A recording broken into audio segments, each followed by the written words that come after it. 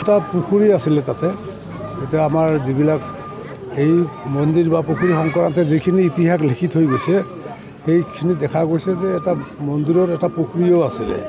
তো সেইটো লৈয়ে কমিটি এখন আছে মন্দিৰ কমিটি আছে তেওঁলোকে ভনীমাৰী ৰাইজক লৈ পেলাই তেওঁলোকে দৰখাস্ত দিলে যে মন্দিৰটো পুখুৰীটো আমাক মুক্ত কৰি দিব লাগে যিহেতু ৰজাদিনীয়া পুখুৰী বুলি কোৱা হৈছে। যদি সেইটোৱে হয় আৰু চৰকাৰে দেখিলে যে জলাশয় হিচাপে পৰি আছে সেই জলাশয় হিচাপে যিহেতু চৰকাৰৰ মাটি চৰকাৰে আজি নিৰ্দেশ দিছে হাইকোৰ্টে নিৰ্দেশ দিছে যে মাটিখিনি পুখুৰীটো দখলমুক্ত কৰিব লাগে। সেই হিচাপে আজি আমাৰ ইয়াৰ চাৰ্কেল অফিচাৰে তেওঁ দলে বলে আহিলে অফিচৰ কৰ্মচাৰীবিলাক আহিলে আৰু মাটিখিনি মুক্ত কৰি দিলে। অঁ আমিতো শুনি আছোঁ কিন্তু আমি দেখা নাই সেই যে নামত কাৰ নামত দুই কথা মাটি মন্দিৰৰ মাটি দুই কথাৰ নাম আমাৰ মোৰ দেউতাৰ নামো আছিলে। আমি পিছত আমি পৰৱৰ্তী সময়ত আমি এইবিলাক ডিনাই কৰিছোঁ। আমি কমিটিক দৰখাস্ত দি দিছোঁ যে আমাক এই মাটি নালাগে। আমি এন অ' চি আমি দি দিছোঁ।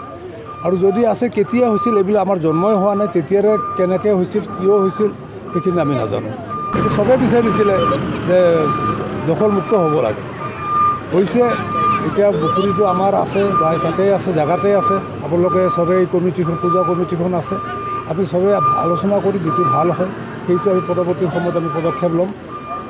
আমি চবেই মিলি। এই নিশ্চয় শান্তিপূৰ্ণ হৈছে কাৰো আপত্তি নাই ইয়াত। কোনো ভূনিমাৰী ৰাইজ বা শান্তিপুৰৰ ৰাইজ। আমাৰ আপত্তি কৰা নাই কোনো আপত্তি কৰা নাই প্ৰতিবাদো কৰা নাই। আৰু প্ৰতিবাদ কৰিবলৈ একোৱেই নাই হাইকোৰ্টৰ অৰ্ডাৰ দিছে।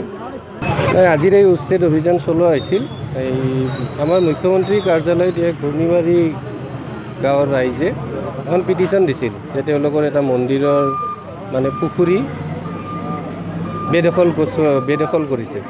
আমিৰ মালিক হাজাৰা বেৱা এনেকুৱা তিনিজন মানুহ। তো সেই মৰ্মে আমি তেওঁলোকক নটিচ প্ৰদান কৰোঁ। আৰু নটিচ প্ৰদান কৰাৰ পিছত তেওঁলোকে এই নটিচক চেলেঞ্জ কৰি মহামান্য গুৱাহাটী হাইকোৰ্টত আপিল কৰিছিল কিন্তু মহামান্য আদালতে আমাক তেওঁলোকৰ পিটিশ্যন কেঞ্চেল কৰিলে আৰু কৰি আজি এভিকশ্যন কৰাৰ কাৰণে আমাক পাৰ্মিশ্যন দিলে। গতিকে সেই অনুসৰি আমি আজি এভিকশ্যন চলাওঁ আৰু এই পুখুৰীটো আমি বেদখলৰ পৰা মুক্ত কৰোঁ। পুখুৰীটোত দুই কঠা এঘাৰ লেচা মাটি আছিল। তাৰপিছত বাকী মাটিটো অলপ ডিস্পিউট আছে সেইখিনি কাগজ পাতি চোৱাৰ পিছতে ডিচিশ্যন লওঁ। তো আমি এতিয়া ক'ব নোৱাৰিম ডকুমেণ্ট চাব লাগিব। ডকুমেণ্ট চোৱাৰ পিছতে এনেতো আমাৰ মুখ্যমন্ত্ৰী কাৰ্যালয়ৰ পৰা নিৰ্দেশ আহিছে যে এইটো মাটিৰ বিষয়ে অলপ চাই যিমান বেদখল আছে সেইখিনি মুক্ত কৰিব লাগে। আমি আজি সেই প্ৰথম পৰ্যায় হিচাপে পুখুৰীটো বেদখল মুক্ত কৰিলোঁ।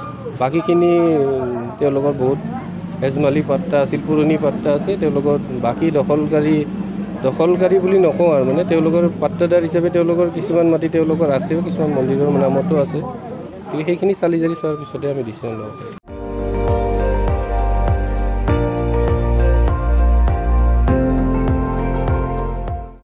আপুনি চাই আছে এন ডি টুৱেণ্টি ফ'ৰ সৰ্বশ্ৰেষ্ঠ নহয় সৰ্বোত্তমৰ দৌৰ